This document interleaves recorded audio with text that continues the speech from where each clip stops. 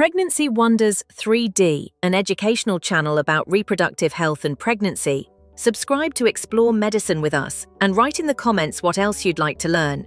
Can you get pregnant from sperm in water? What about if you swallow it? These are some of the most searched questions about reproduction and today. We are going to give you the scientific facts. Let's start with the water myth. Can sperm survive in water long enough to cause pregnancy? The answer is absolutely not. Here's why. Sperm cells are incredibly fragile outside the human body. When sperm enters water, whether it's a swimming pool, hot tub, or bathtub, it faces immediate death. Water dilutes sperm, instantly spreading the cells so far apart that they cannot reach an egg even if one were present. But the real killer is osmotic pressure. Sperm cells are designed to survive in the specific environment of reproductive fluids. When they hit water, the cells literally explode from the pressure difference. It's like putting a balloon underwater and watching it burst. Pool chemicals make survival even more impossible.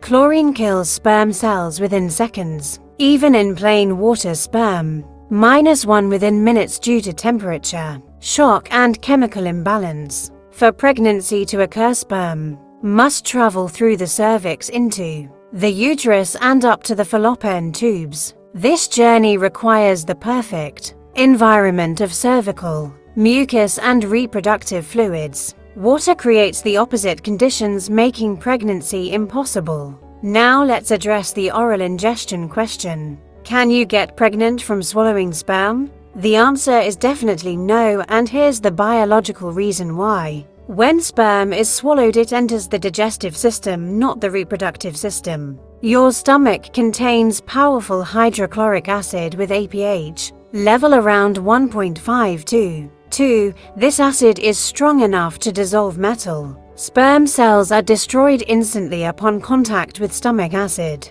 Even if sperm somehow survived the stomach acid, which is impossible it would continue through the intestines and be eliminated from the body as waste. There is no biological pathway connecting the digestive system to the reproductive system that would allow sperm to reach an egg. The only way pregnancy can occur is when sperm is deposited in ore, very close to the vaginal opening during ovulation. The sperm must then travel through the cervix uterus and fallopian tubes to reach the egg. This requires direct contact with the reproductive tract. So to summarize the scientific facts, sperm cannot survive in water long enough to cause pregnancy. Sperm cannot cause pregnancy when swallowed because it enters the digestive system, not the reproductive system. Pregnancy requires direct contact between sperm and the female reproductive tract during the fertile window.